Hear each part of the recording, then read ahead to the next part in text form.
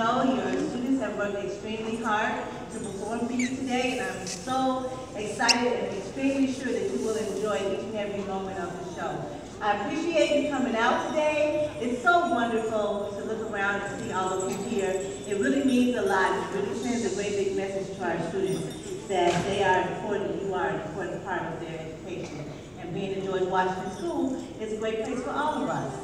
So I would like to, um, again, thank you parents, families for being here. I would like to acknowledge our staff who also works very hard with your students each and every day. And for our arts department, Mrs. uh, Kimberly St. Ledger does an amazing job. If you turn around before you leave and see all the fantastic art behind you, you'll know exactly what I mean.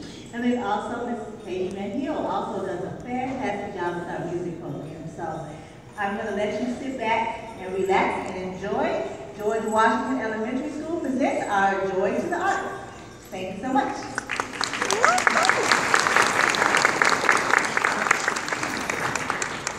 Good morning, thank you so much for coming. Welcome to the show. First up, in their very first performance ever, are our cute, cute kindergartners singing uh, Hear the Bells, followed by There's Someone in the Chimney, which will feature a special guest.